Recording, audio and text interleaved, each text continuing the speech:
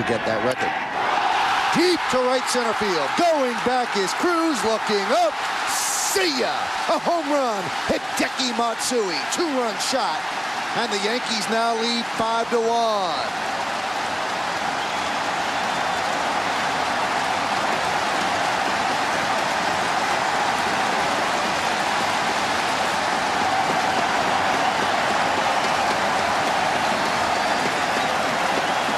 Right there. Holy cow, that one's gone. Had the sound, certainly had the distance.